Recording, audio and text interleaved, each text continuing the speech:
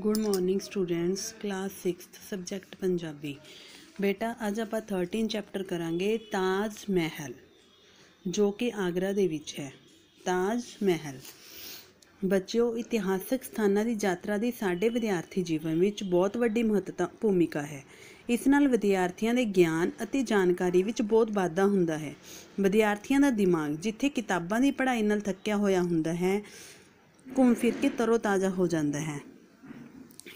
ਕਵੀ ਕੀ ਕਹਿੰਦਾ ਹੈ? ਕਵੀ ਕਹਿੰਦਾ, ਜਦੋਂ ਸਾਡਾ ਦਿਮਾਗ, ਅਸੀਂ ਪੜ੍ਹ ਪੜ੍ਹ ਕੇ ਵੀ ਬੋਰ ਹੋ ਜਾਂਦੇ ਹਾਂ, ਕਿਤਾਬਾਂ ਦੀ ਪੜ੍ਹਾਈ ਤੋਂ ਸਾਡਾ ਦਿਮਾਗ ਥੱਕ ਜਾਂਦਾ ਹੈ, ਤਾਂ ਅਸੀਂ ਘੁੰਮ ਫਿਰ ਕੇ ਫਰੈਸ਼ ਹੋ ਜਾਂਦੇ ਹਾਂ, ਤਰੋ ਤਾਜ਼ਾ ਹੋ ਜਾਂਦੇ ਹਾਂ।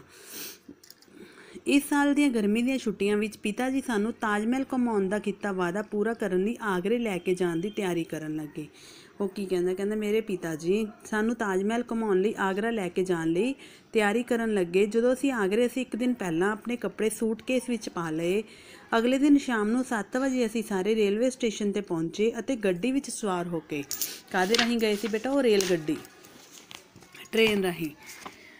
ਦੂਜੇ ਦਿਨ ਦੁਪਹਿਰੇ ਅਸੀਂ ਆਗਰੇ ਪਹੁੰਚ ਗਏ। ਸਭ ਤੋਂ ਪਹਿਲਾਂ ਅਸੀਂ ਰਾਤ ਨੂੰ ਹੋਟਲ ਵਿੱਚ ਰਹਿਣ ਦਾ ਪ੍ਰਬੰਧ ਕੀਤਾ। ਰਾਤ ਪੈਣ ਤੇ ਅਸੀਂ ਤਾਜ ਮਹਿਲ ਦੇਖਣ ਚਲੇ ਗਏ। ਕਿਉਂਕਿ ਬੇਟਾ ਕੀ ਹੁੰਦਾ ਹੈ, ਜਿਹੜਾ ਤਾਜ ਮਹਿਲ ਦਾ ਨਜ਼ਾਰਾ ਹੁੰਦਾ ਹੈ, ਰਾਤ ਨੂੰ ਹੀ ਵੇਖਣ ਵਾਲਾ ਹੁੰਦਾ ਹੈ। ਇਹ ਸੁਣਿਆ ਹੁੰਦ- ਸੀ ਕਿ ਤਾਜ ਮਹਿਲ ਦੀ ਸੁੰਦਰਤਾ ਰਾਤ ਨੂੰ ਵੇਖਣ ਵੇਲੇ ਹੀ ਬਣਦੀ ਹੈ। ਲਈ ਤਾਜ ਮਹਿਲ ਦਿਨ ਵੇਲੇ ਇੰਨਾ ਸੁੰਦਰ ਨਹੀਂ ਦਿਖਦਾ, ਜਿੰਨਾ ਕਿ ਰਾਤ ਵੇਲੇ ਸੁੰਦਰ ਦਿਖਦਾ ਹੈ। ਸਾਡੇ ਹੋਟਲ ਤੋਂ ਤਾਜ ਮਹਿਲ ਬਹੁਤਾ ਦੂਰ ਨਹੀਂ ਸੀ। ਰਾਤ ਚਾਨਣੀ ਸੀ। ਸਭ ਤੋਂ ਪਹਿਲਾਂ ਅਸੀਂ ਇੱਕ ਉੱਚੇ ਦਰਵਾਜ਼ੇ ਤੋਂ ਅੰਦਰ ਦਾਖਲ ਹੋਏ। ਸਾਹਮਣੇ ਉਹ ਤਾਜ ਮਹਿਲ ਦੀ ਸੁੰਦਰ ਇਮਾਰਤ ਨਜ਼ਰ ਆ ਰਹੀ ਸੀ ਸੀ। ਇੱਕ ਅਜਿਹਾ ਅਜੂਬਾ ਦਿਸ ਰਿਹਾ ਸੀ ਜਿਵੇਂ ਕੋਈ ਸਵਰਗ ਰਚਿਆ ਹੋਵੇ। ਕਹਿੰਦਾ, ਤਾਜ ਮਹਿਲ ਨੂੰ ਦੇਖ ਕੇ ਇਸ ਤਰ੍ਹਾਂ ਲੱਗ ਰਿਹਾ ਸੀ ਜਿਵੇਂ ਕੋਈ ਸਵਰਗ ਹੋਵੇ। ਸਾਰੇ ਯਾਤਰੀ ਇਸ ਨੂੰ ਦੇਖਣ ਆਏ ਸਨ। ਚਾਰੇ ਪਾਸੇ ਇੱਕ ਸੁੰਦਰ ਬਾਗ ਹੈ। ਬਾਗ ਦੇ ਦੁਆਲੇ ਕੰਧ ਹੈ। ਸਾਰੇ ਬਾਗ ਵਿੱਚ ਨਰਮ ਤੇ ਮੁਲਾਇਮ ਘਾਹ ਵਿਛੀ ਹੋਈ ਹੈ। ਲੈ ਵੀ ਜਿਹੜਾ ਬਾਗ ਹੈ, ਉਹਦੇ ਵਿੱਚ ਘਾਹ ਹੈ ਦਰਵਾਜ਼ੇ ਤੋਂ ਤਾਜ ਮਹਿਲ ਤੱਕ ਫੁਹਾਰੇ ਬਣੇ ਹੋਏ ਹਨ। ਸ਼ਾਵਰ ਜਿਹਨੂੰ ਕਹਿੰਦੇ ਆ। ਅਤੇ ਉਹਨਾਂ ਦੇ ਦੋਹਾਂ ਪਾਸੇ ਸੰਗਮਰਮਰ ਦਾ ਰਾਹ ਬਣਿਆ ਹੋਇਆ ਹੈ। ਸੰਗਮਰਮਰ ਪੱਥਰ ਦਾ ਰਾਹ।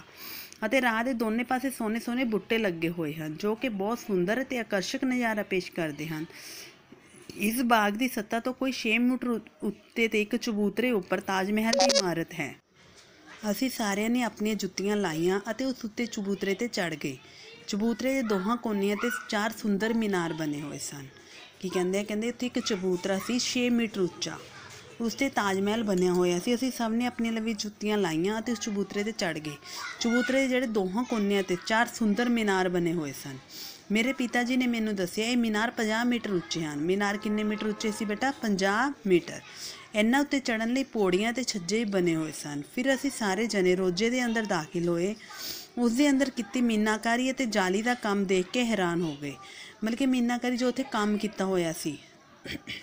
ਕਮਾਲ ਹੀ ਕੀਤੀ ਹੋਈ ਸੀ ਉਹਨਾਂ ਕਾਰੀਗਰਾਂ ਨੇ, ਜਿਨ੍ਹਾਂ ਨੇ ਇਹਨਾਂ ਪੱਥਰਾਂ ਵਿੱਚ ਹੀ ਜਾਨ ਪਾ ਦਿੱਤੀ। ਕਹਿੰਦਾ ਉਹਨਾਂ ਲੋਕਾਂ ਮਤਲਬ ਕਿ ਜਿਹੜੇ ਜਿੱਥੇ ਇਹਨਾਂ, ਜਿਹੜੇ ਮਿਸਤਰੀਆਂ ਨੇ ਤੇ ਕਾਰੀਗਰਾਂ ਨੇ ਕੰਮ ਕੀਤਾ ਸੀ, ਉਹਨਾਂ ਨੇ ਪੱਥਰਾਂ ਵਿੱਚ ਜਾਨ ਪਾ ਦਿੱਤੀ, ਇਸ ਤਰ੍ਹਾਂ ਇੰਨਾ ਸੋਹਣਾ ਕੰਮ ਕੀਤਾ ਹੋਇਆ ਸੀ। ਮੈਂ ਆਪਣੇ ਪਿਤਾ ਜੀ ਨੂੰ ਕਿਹਾ ਕਿ ਜੇ ਮੈਨੂੰ ਕਾਰੀਗਰ ਮਿਲ ਜਾਣ ਤਾਂ ਮੈਂ ਉਹਨਾਂ ਦੇ ਹੱਥ ਚੁੰਮ ਲਵਾਂ। ਪਿਤਾ ਜੀ ਹੱਸਣ ਲੱਗੇ। ਉਹਨਾਂ ਨੇ ਕਿਹਾ, ਆਓ ਅੱਗੇ ਚੱਲੀਏ।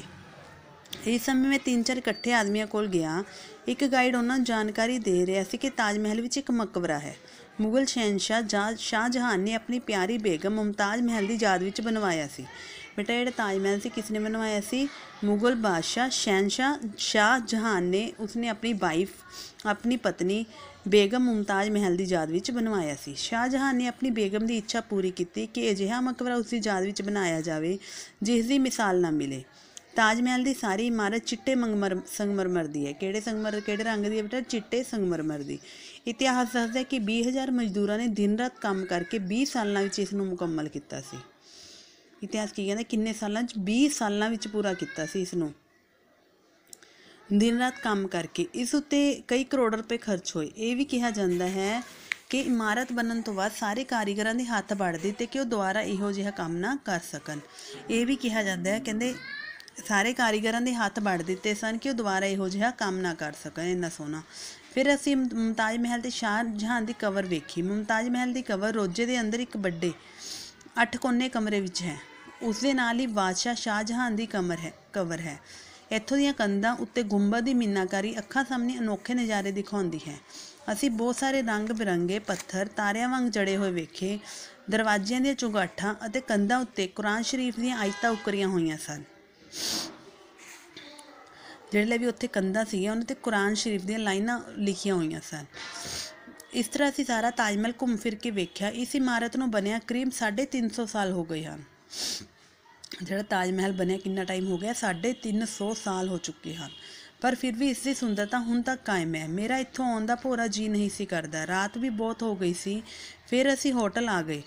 ਸੌਣ ਤੋਂ ਪਹਿਲਾਂ ਮੇਰੀਆਂ ਅੱਖਾਂ ਮੂਰੇ ਤਾਜ ਮਹਿਲ ਦੀਆਂ ਤਸਵੀਰਾਂ ਘੁੰਮ ਰਹੀਆਂ ਸਨ। ਅਗਲੇ ਦਿਨ ਅਸੀਂ ਦਿੱਲੀ ਆ ਗਏ ਅਤੇ ਫਿਰ ਦਿੱਲੀ ਦੀਆਂ ਘੁੰਮਣਯੋਗ ਥਾਵਾਂ ਵੇਖੀਆਂ।